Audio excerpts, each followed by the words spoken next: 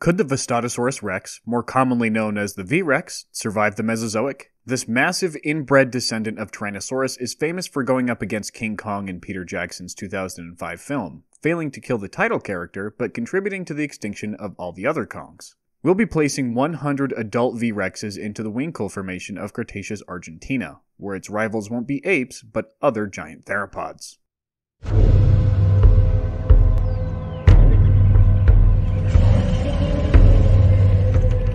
First, let's cover the basics about our grumpy reptilian friend. The Vastatosaurus rex, or Ravager Lizard King, is supposed to be a descendant of Tyrannosaurus rex that became isolated on Skull Island and survived the KPG extinction 66 million years ago. Notable autapomorphies that separate it from its ancestor include greater size at up to 50 feet or 15 meters long, a heavily reinforced skull, armored skin tough enough to ignore bullets, a reduced rib count to increase flexibility, three fingers instead of two, weaker senses, and extraordinary physical durability far beyond any other predator in its size class. V-Rexes are able to survive falls that would be fatal to other animals its own mass, and the running speed of 25 miles an hour or 40 kilometers an hour only adds to their deadly cocktail. While proportionally slightly less robust than T-Rex, their overall much longer body weighs around 15 tons when fully grown. Their bite remained strong enough to shatter bone, and subadults frequently went toe to toe with adult Megaprimatus Kongs in an effort to expand their territories. Ultimately, the combination of predation pressure from the V Rexes, low birth rate, and disease drove the Kongs extinct, with the exception of King Kong himself, who was so exceptional among his own kind that he could fight off three V Rexes simultaneously. Am I mad that a gorilla beat three Tyrannosaurs? No, not at all. I'm not coping. Ah, reptilian supremacy!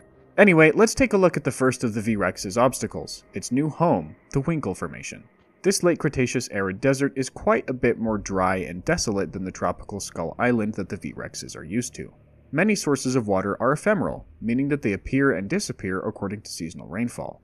This means that constant traveling is necessary for large animals to find bodies of water big enough to sustain them. But some studies do report cycads, conifers, crocodiles, and turtles, meaning that there were also enough supplies of year round water for plenty of plants and large aquatic animals. It was also warm, meaning that the tropics loving V Rex won't have to deal with winters. V Rex on Skull Island engaged in ontogenetic niche partitioning, with the young and subadults preferring the jungle while the adults hunted large bodied prey in open flatlands. The more open and desertified Huincul Formation wouldn't provide a sheltered nursery area for the V Rex young, forcing juveniles to spread out across further distances to avoid the highly territorial adults. Until they reached that point, any new generations of V Rexes would likely experience higher casualties than normal from territory based battles. The stronger, established adults would kick the juveniles out of the area, spreading the deadly influx of massive super predators even further. The V Rex gets a 6 out of 10 for its home score, while the warm weather is familiar, lacking the forests and jungles that its juveniles relied on so heavily would definitely slow the growth of the population thanks to their raw, intraspecific aggression.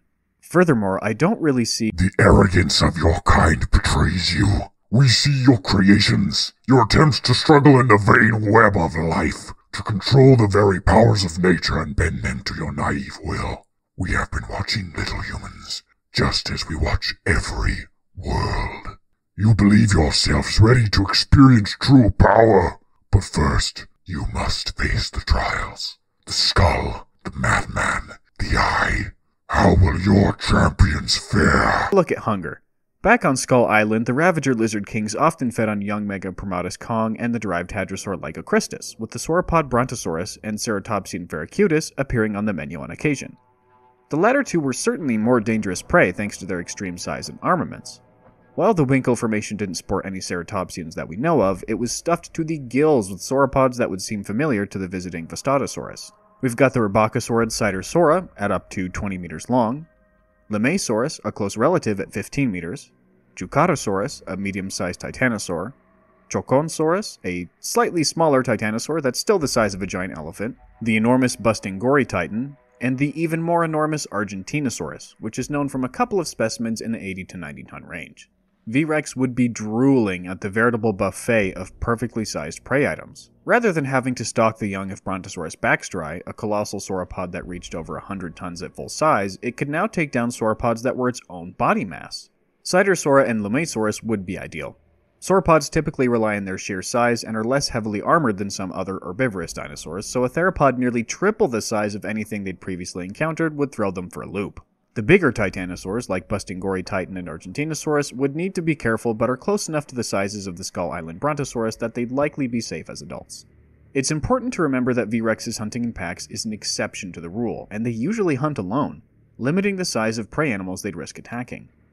If they didn't typically use pack behavior to hunt the titanic Brontosaurus baxteri, there's no real reason to think they'd spawn the ability to hunt slightly smaller sauropods like Argentinosaurus. They would, however, need to adapt to the suddenly open terrain of Argentina. They were used to ambushes, using their dark coloring to blend in with the jungle and then attack, but that's not a viable option here. Pursuit predation would be the way to go, using their abnormally high speed to run down medium sized sauropods and bring them down in a brutal confrontation. V-Rex earns a 10 out of 10 for hunger. The prey items here are in the perfect size class, and pound for pound are much more lightly defended than what V-Rex hunted back home. Chef's kiss. Hanger is the final obstacle, the threats posed by native predators and competitors. I think this might be a controversial take, but Vastatosaurus would not have any natural predators in the Huincul Formation. There is nothing that ever lived on land that would choose a 15 ton bulletproof theropod as its main food source. And while the Huincul is full of Carcharodontosaur super predators, even the biggest are half of V Rex's mass. Let's take a look at the roster. We have Gualicho, a bear-sized theropod of uncertain affinities. The mid-sized abelisaurid Ilokelesia wouldn't have threatened V-Rex apart from picking off the occasional lone hatchling. The Noasaurid Huinculsaurus is even smaller. Overoraptor is basically popcorn, but Scorpiovenator, at the size of a large polar bear, could have threatened very young juveniles. Taurovenator, or Bull Hunter, was an elephant-sized Carcharodontosaur that would have directly competed with juvenile V-Rex for medium sauropod prey. Meraxes was the biggest native predator, with one specimen slightly larger than Taurovenator and another as big as the Giganotosaurus holotype. That puts Meraxes' max size at between 8 and 9 tons, making it much more threatening than its other Argentinian brethren. But that's still small fry compared to a V-Rex adult.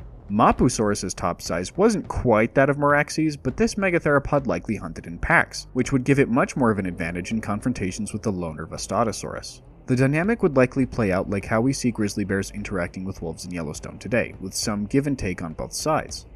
If, of course, if it weren't for the V-Rex's ridiculously strong bones and armor. Given the punishment a single V-Rex can take before being injured, much less dying, it's more likely that they'd be able to bully an arbitrary number of native theropods out of their kills. They're faster, they're much bigger, and they're unreasonably strong. They're movie monsters, after all. Vastatosaurus earns a 9 out of 10 for hanger. Not a perfect score given the sheer density of large theropod competitors that might be able to target young V-Rexes, but pretty close. It would become the apex predator of the Huincul by an overwhelming margin, and its final Thrive Rate and Alive score is a very solid 8.3 out of 10. The V-Rex's weakest category was home, given how the open desert would severely limit its tendencies to act as an ambush predator. But it performed so well in both hunger and hanger that it ended up with an excellent score anyway. A 15 ton theropod with bulletproof armor is, well, pretty difficult for nearly any ecosystem to deal with. Thanks for watching! I hope you enjoyed the video and I'd love to hear your thoughts on this scenario in the comments. I have so many similar projects lined up in the future and can't wait to share them with you. Keep an eye out for what the, the heck? Hey, hey, Bree, do you hear that? It's coming from above the apartment. Sounds like a freaky plane or something. I'll grab the cats if you grab the magic cards. We we might need to head to the bomb shelter or grandma's house or something. Just... Whoa! Hey, what are you doing in my house?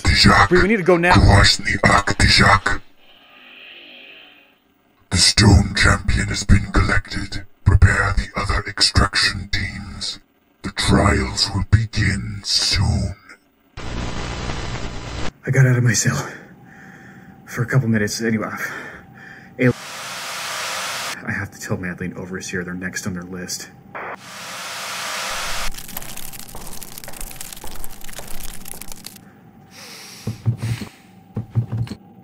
Monsters, real monsters. Sea, stone, and sky. Something like that. The we each have to. has escaped from his cell. Mobilize all troops.